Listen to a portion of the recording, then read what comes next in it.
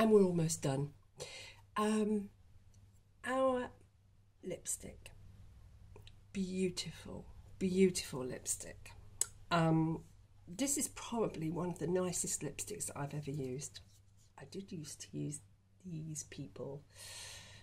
Actually, still use this one because it is one of my most favourite colours. Shouldn't say that because I work for the company, but you have your favourites. So, Younique brought out these most amazing lipsticks.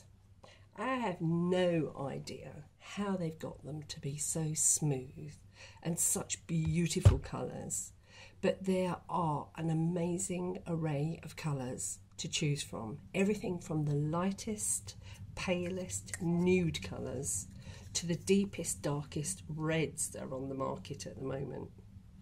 This one is called Swanky it actually suits me. I like swanky. It is my colour and stinking rich. I love the stinking rich.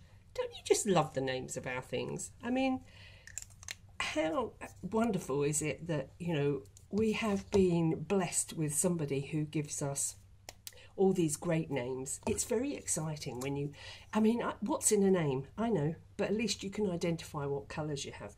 So this colour is in Swanky. Um, I'm going to um, put this on my lips for you to demonstrate and you will see this colour actually does not bleed, does not run. It is extremely smooth to go on and when and it actually nourishes your lips. I have this year for the first time ever I have not got split lip. Usually in the winter I get that split lip down there from being outside in the cold. I know it's not freezing outside, but even so it's the time of the year we get those horrid chap lips and right now, using this lipstick, I know it's prevented a lot of that. So here we go with the lipstick.